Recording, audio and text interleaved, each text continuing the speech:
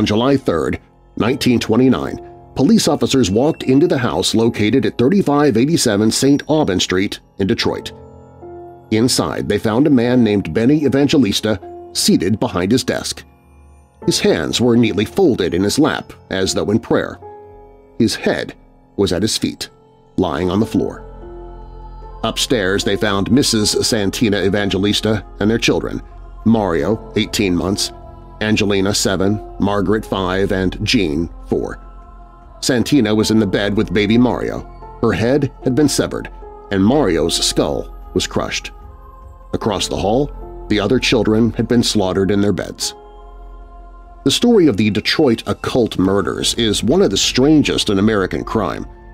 It's a story of black magic, murder, and a clever and enterprising man who came to Detroit with a strange dream and who made use of the opportunities he found in a city that was bursting at the seams in those days.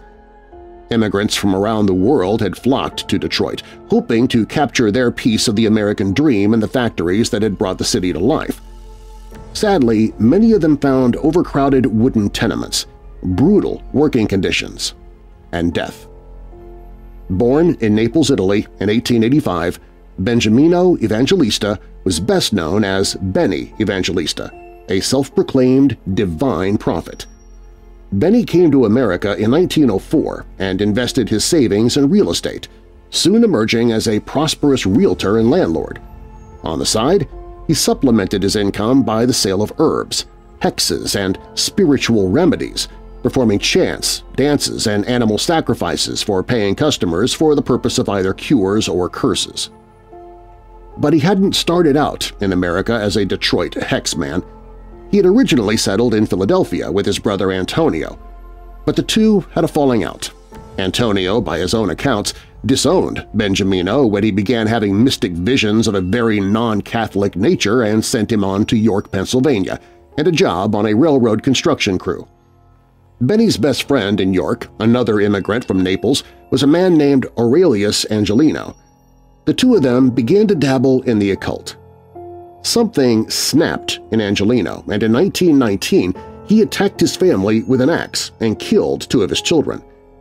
He was sent to a prison for the criminally insane, and Benny, unsettled by what had occurred, moved to Detroit. Benny went to work as a carpenter, began to dabble in real estate, and got married.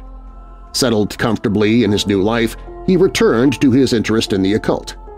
Benny began performing psychic healings on those who paid his fees, which went as high as $10, the equivalent of two days' pay on the assembly line. He did quite well for himself and moved his wife and children into a house at the corner of St. Aubin and Mack Avenues. It was a large and comfortable home, painted green with a wide front porch. It was said that if a passerby crocked his head just right, he could see inside a basement window and view Benny's Great Celestial Planet exhibition. Using papier-mâché, wires, and wood, he had built nine planets and a sun with an electric eye that sat in the center. But what passers-by could not see was the basement chamber, where Benny practiced his infernal rituals. In that place, where he mixed up spells, hexes, and potions and carried out his magical sacrifices, he kept a crude altar along with knives, bottles, and jars. Copies of his self-published book, The Oldest History of the World Discovered by Occult Science in Detroit, Michigan, were stacked around the room. Benny claimed to have produced the book through a series of nightly trances beginning in 1906. He said it was the first in a series of four books that would reveal previously unknown information relayed to him from God. Unfortunately for Benny and his family, fate had another plan in store. On the sunny morning of July 4th, the Detroit Free Press broke the horrific story of the Evangelista murders. A man named Vincent Elias had come to Benny's home on July 3rd at about 10.30 a.m. to discuss a real estate deal.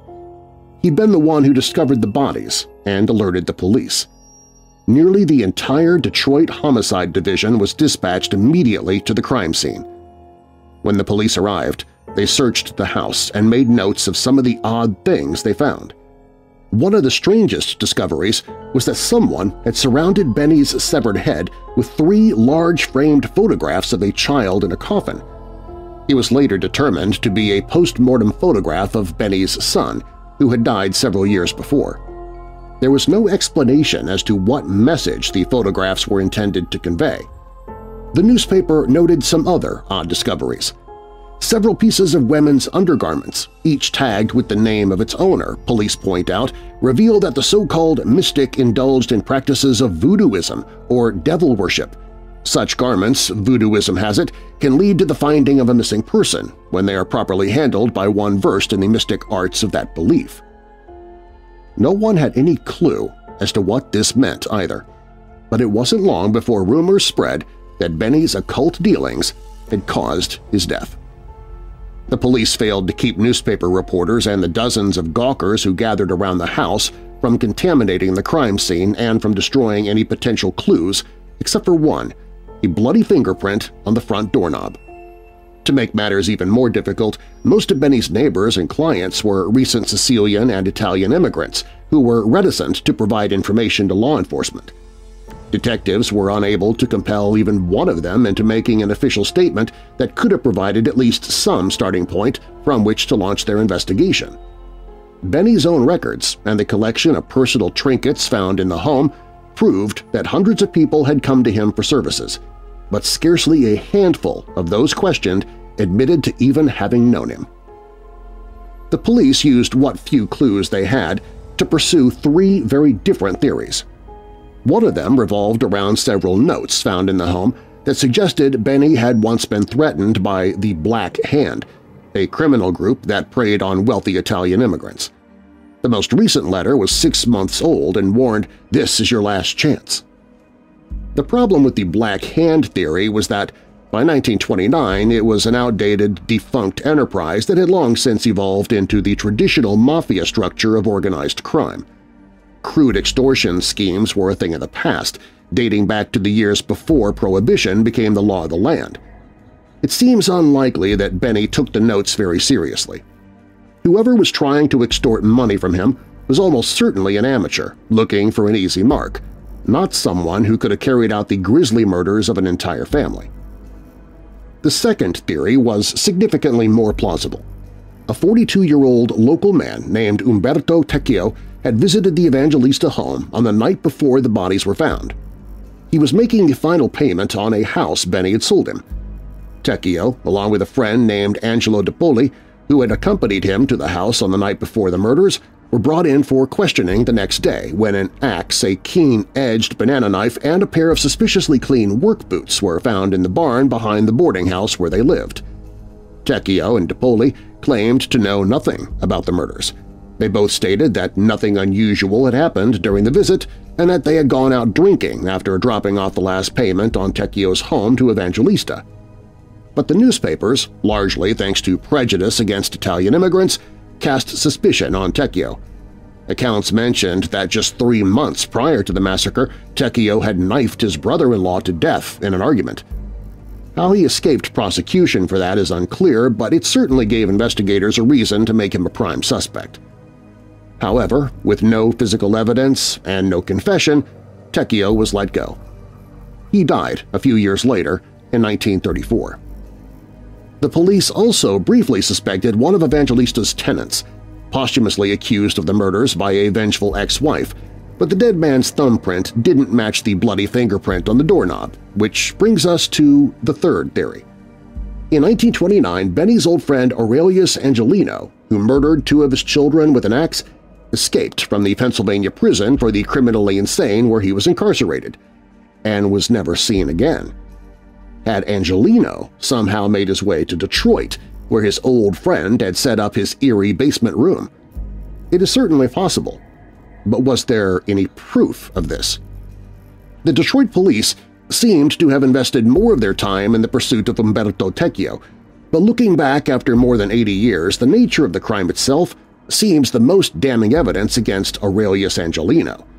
The murders seem to most closely match the crime Angelino committed back in York, and it's not hard to imagine him slowly making his way west to Detroit and finally tracked down his old partner in voodooism, the code word for occult activities that the police and the newspapers used in those days. Upon arriving at the door of the now prosperous Evangelista, Isn't it possible that Angelino thought back over the horrors of the previous nine years and felt rage boil up inside of him? It isn't hard to imagine the escaped madman and convicted axe murderer slithering in an open window while Benny sat at his desk during the early morning hours of July 3rd. And, once inside the house, how difficult would it have been for him to murder the family of the man who had left him behind in York to rot in the insane asylum while he practiced his magic and grew fat off selling spells and potions? It's not hard to imagine at all. And yet, after Angelino's escape from the state of Pennsylvania's custody in 1923, no record of his existence, whether in Detroit or anywhere else, can be found. Could a family of six be slaughtered so easily and the killer simply disappear? It's certainly possible, as history has proven time and time again.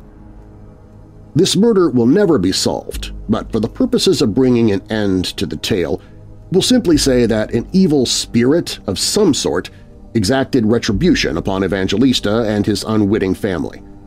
When he was finished, he disappeared into the humid July night, leaving his bloody fingerprint on the doorknob when he let himself out of a house filled with death. Several years ago, the Evangelista's home on St. Aubin Street was demolished. All that remains now is an empty lot that has never been used again. There are those that say the site is haunted. There are disembodied screams heard on occasion, they say, and a headless man who walks the lot and vanishes. Are such stories true? No one can say. But is it any wonder that these tales are told? History has left its mark here, and it was written in blood.